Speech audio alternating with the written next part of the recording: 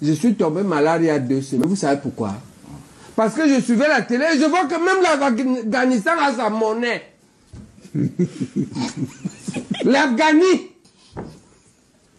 Même l'Afghanistan a, sa monnaie. Et papa, et tu crois que nous on est libres?